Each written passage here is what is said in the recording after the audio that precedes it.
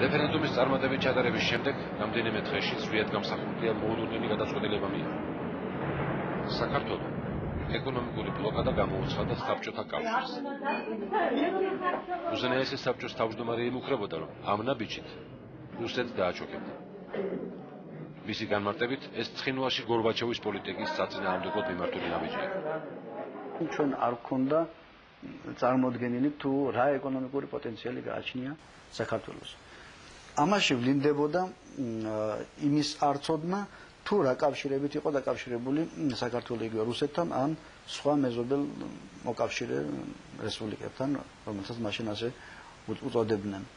ანუ ჩვენ არ ვიცოდით რა გაგქონდა საქართველოსთან და რა შემოქონდა საქართველოსში და რა შედეგს გამოიღებდა ეკონომიკური ბლოკადა.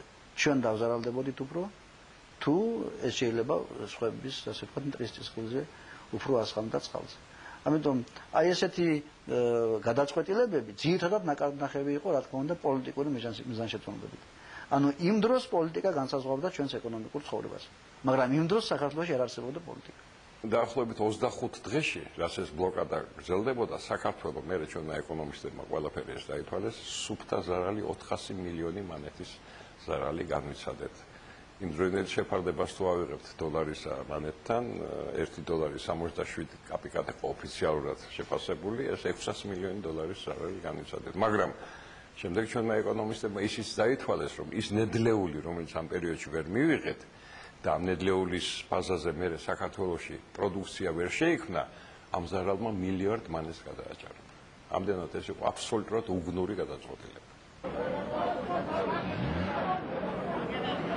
ეკონომიკური ბლოკადის წინააღმდეგ ღიად თითქმის არავინ გამოსულა.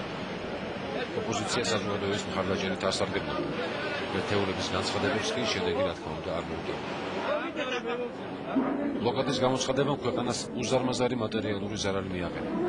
თუმცა საქართველოს ხელისუფლება უკვე უდიდესი დღისთვის ემზადებოდა. 9 აპრილს უნდა გამოცხადებულიყო დამოუკიდებლობის აღდგენის დეკლარაცია.